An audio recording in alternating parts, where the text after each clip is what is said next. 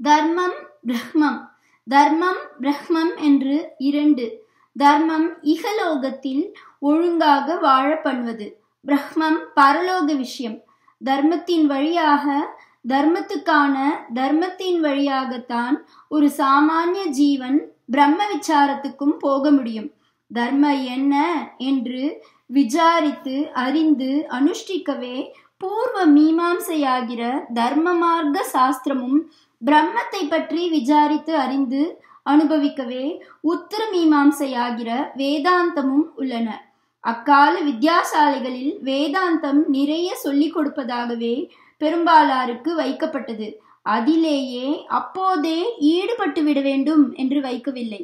இகலோக வாழ்க்கையை நன்றாக நடத்தி அதாவது தர்மத்தின் வழியிலேயே நடத்தி உரிய பக்குவம் பெற்ற பின்னரே ஒருத்தன் பூர்வத்தில் அறிவு ரீதியில் தெரிந்து கொண்ட ஆத்ம சாஸ்திரத்தில் பூர்ணமாக பிரவேசிக்கும்படியாகத்தான் பிரம்மச்சரிய ஆசிரமத்தின் வித்யாபியாசமும் பிறகு கிரகஸ்தாசிரமத்தின் வாழ்க்கை கிரமமும் உருவாக்கப்பட்டன. நாரதர் சாமானிய ஜீவனாக இல்லாமல் அசாதாரணமாக இருந்தவர் ஆதலால் அவருக்கு தார்மீகமான வாழ்க்கையோடு நின்று விடுவதில் வித்யாபியாசம் முடிந்தபோதே குறை ஏற்பட்டு பிரம்ம ஞானத்துக்கான ஏக்கம் உண்டாயிற்று. கிரகஸ்தாசிரமத்துக்கு போகாமல் பிரம்மச்சரியத்திலிருந்தே பிரம்மஞான நிலைக்கு போய்விட்டார். நாரதர் கதை இருக்கட்டும்.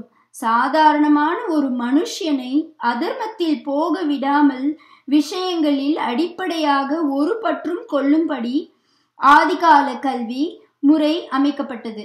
அது எப்படி காலக்கிரமத்தில் விஸ்தாரமாக வளர்ந்தது என்று சொன்னேன்.